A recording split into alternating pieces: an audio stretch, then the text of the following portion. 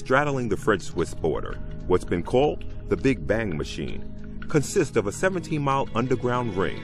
There, subatomic particles travel at almost the speed of light and are smashed together, allowing scientists to sift through the aftermath in an attempt to answer unsolved questions about things like dark matter, supersymmetry, and extra dimensions. The LHC is a science experiment that took decades to come together. The LHC was finally up and running in 2008. For the first time, a beam of protons steered around the collider. But it wasn't a smooth start. Nine days later, an electrical problem damaged the machine. About one year and $40 million in repairs later, the machine was back online, and the payoff was colossal. In 2012, CERN announced the discovery of the elusive Higgs boson, the so-called God particle, thought to explain how other particles get their mass.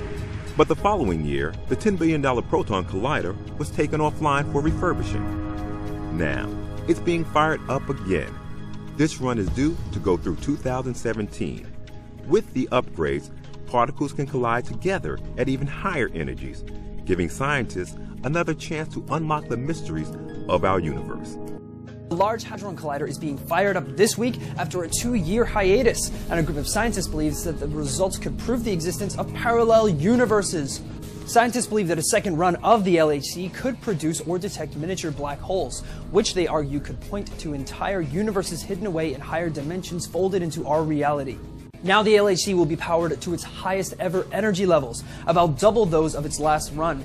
And if these scientists are right, the new run could uncover black holes tucked away in dimensions beyond the four that we interact with in our daily lives.